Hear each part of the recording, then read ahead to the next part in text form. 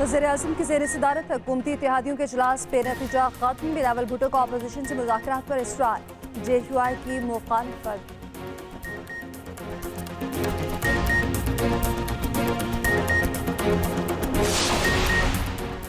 Chief justice سے حساس اداروں کے سربراہان کی چیمبر میں ملاقات۔ ذرائع کے مطابق ججز نے پوچھا کہ میڈیا رپورٹس کے مطابق حالات تو کافی بہتر ہیں۔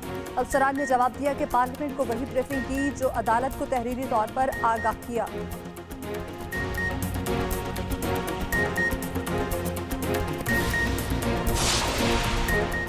پنجاب میں انتخابات کے لیے فنڈز نہیں ملے۔ الیکشن کمیشن کی سپریم کورٹ میں رپورٹ جمع۔ اسٹیٹ بینک اور وزارت خزانہ نے بھی سپریم کورٹ میں رپورٹ جمع کرا دی۔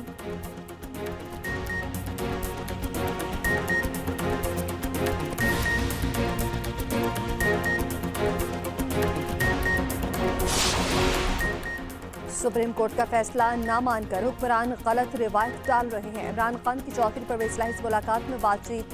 چوتھری پرویز الہی بولے، نااہل حکمرانوں کو اپنے ہر غیر آئینی اقدام کا جواب دینا ہوگا۔